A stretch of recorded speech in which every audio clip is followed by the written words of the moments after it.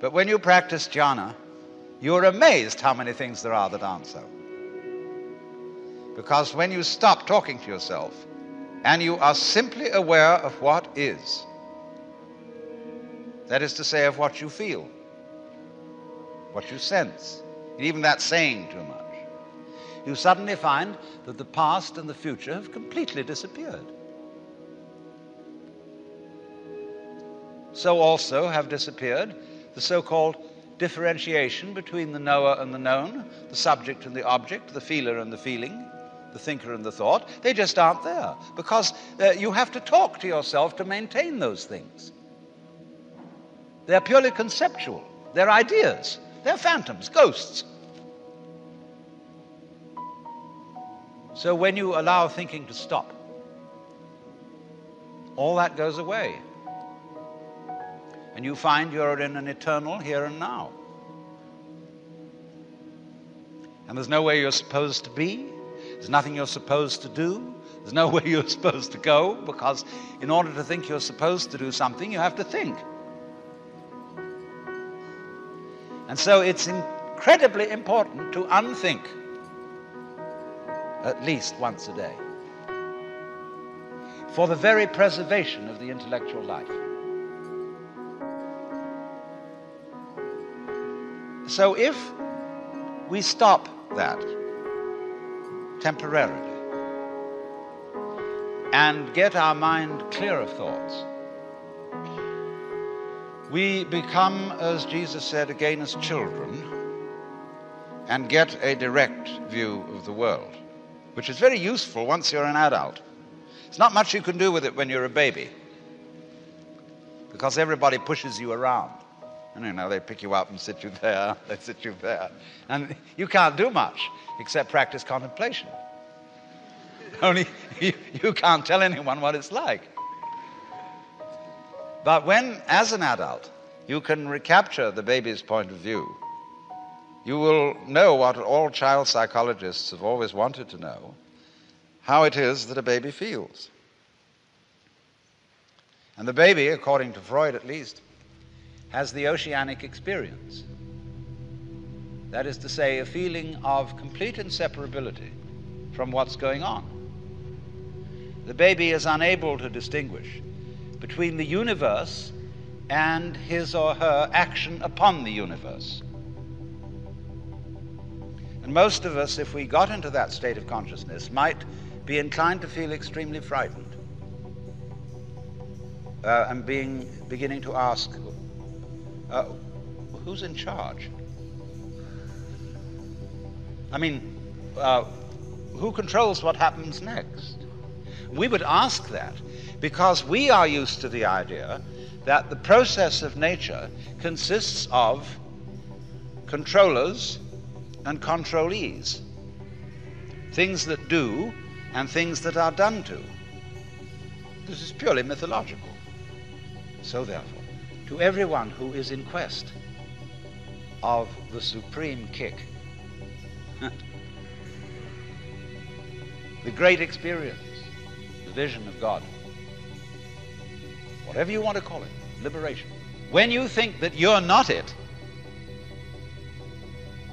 any old guru can sell you on a method to find it. And that may not be a bad thing for him to do, because, as Blake said, a fool who persists in his folly will become wise. So long as you can be persuaded that there's something more that you ought to be than you are, you've divided yourself from reality, from the universe, from God, or whatever you want to call that the tat in tat tvam asi. To be truly realized, you have to get to the point where you're not seeking anymore. So then you begin to think, well, we, we, we will, we will now be non seekers.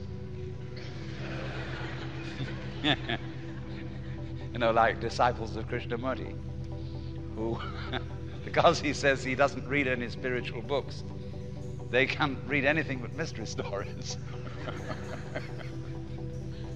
you know, uh, becoming uh, spiritually unspiritual. Well, you find that that too is what is called in Zen legs on a snake. It's irrelevant. You don't need not to seek. Because you don't need anything. We have to have something to hang on to. Who does? And eventually you discover, of course, that it's not necessary to hang on to anything, to rely on anything. There's nothing to rely on because you're it. It's like the universe. It's like asking the question, where is the universe? And by that I mean the whole universe. Whereabouts is it in space? Everything in it is falling around everything else, but there's no concrete floor underneath for the thing to crash. Because the space You can think of infinite space if you like. You don't have to think of curved space.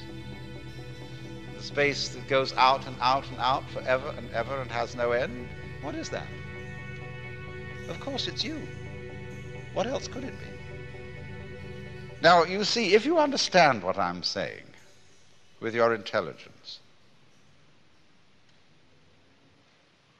and then take the next step and say, But I understood it now, but I didn't feel it.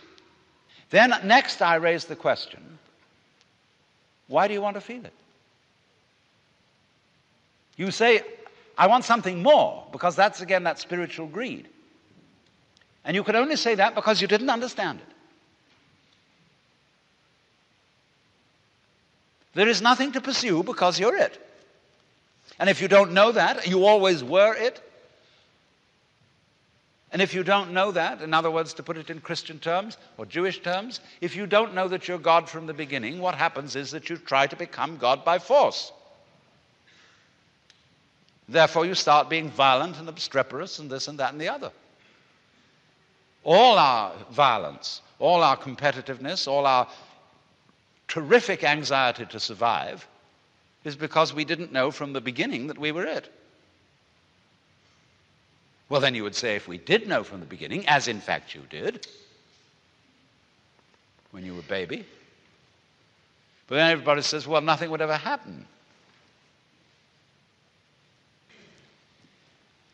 But if that is the case, if Hindus, and really awakened Hindus, by the knowledge of their union with the Godhead, would simply become inert, why then Hindu music?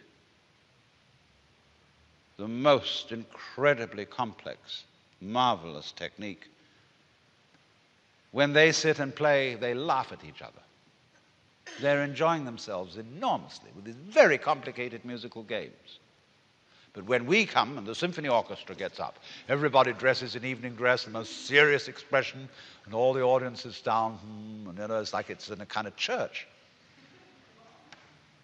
And there's none of that terrific zest.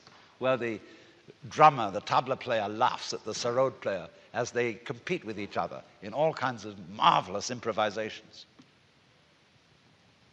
So, if you do find out, by any chance,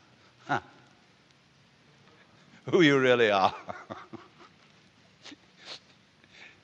you, instead of becoming merely lazy, you know, you start laughing. And laughing leads to dancing. And dancing needs music and we can play with each other for a change.